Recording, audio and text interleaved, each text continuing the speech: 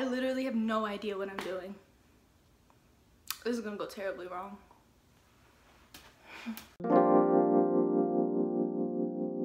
Something else is wrong? I don't have an intro, so, you know. I'm literally questioning everything that I do right now. Here's a couple things that I do question. If something is open for 24 hours a day, why do they need locks on their door? If you never say never, aren't you already saying never? Why do you park in a driveway but drive in a parkway? Why do cars carry shipments and ships carry cargo? Why do medicine commercials tell you to call their doctor if death occurs? You're already dead. Why do we call hamburger hamburger when it's made of beef? We all know about the number two pencil, but what about the number one pencil? If no one is perfect, then why do we say practice makes perfect? What are we practicing for? If you expect the unexpected, would it still be unexpected? Gotcha. Did it make you jump?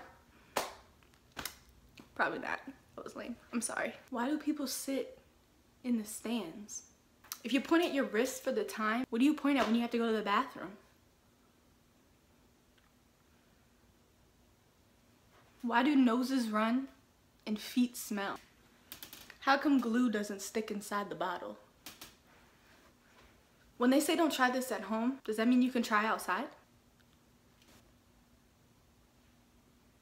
If bees chew the pollen to make honey, does that mean we're eating bee spit? If one door closes and another one opens, does that mean your house is haunted?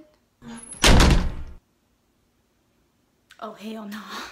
Thanks for watching. Just like my intro, I don't have an outro.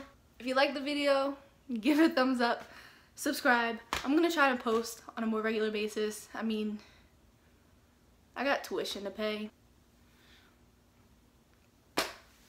I'm gonna just, bye. See ya. that was stupid. This is so awkward. This is so awkward.